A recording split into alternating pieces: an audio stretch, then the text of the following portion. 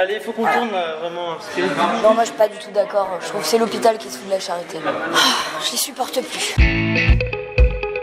Hey Vous avez l'air un peu palo. Si, je vois bien là. Ça a pas l'air d'aller très fort. Moi j'ai une extinction de voix aussi. Bon bah on va remédier à ça avec notre ambitieuse du jour qui va nous chouchouter. Direction l'hôpital. Pas besoin d'ambulance, hein, je vous emmène.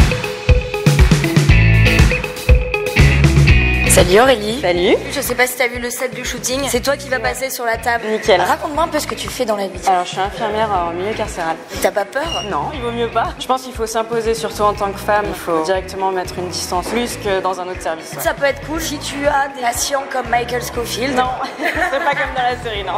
C'est quoi le plus dur? Je dirais pas que c'est dur. Faut voir ça comme un service lambda. C'est juste qu'il faut avoir un petit peu de stature et. Et pas se laisser marcher sur les pieds. Ah, Exactement. Le fantasme de l'infirmière c'est validé hein. Je vais vous mettre sous perf, ça va aller beaucoup mieux. Respirez. C'est bon, vous êtes parfait.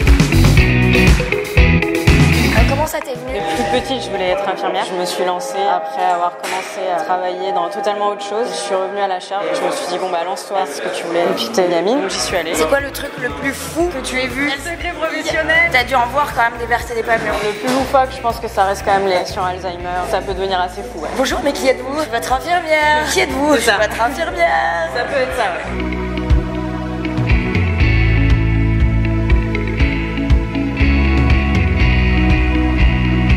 C'est quoi ta définition de l'ambition L'ambition, c'est aller au bout de ses rêves. Des fois, on a envie de baisser les bras. Qu'est-ce qui t'a donné la force Il faut pas compter sur la chance en fait, il faut la provoquer. Quand on provoque la chance, quand on se bouge, faire ce qu'on a envie de faire, ça marche. Et vous Comment vous provoquez la chance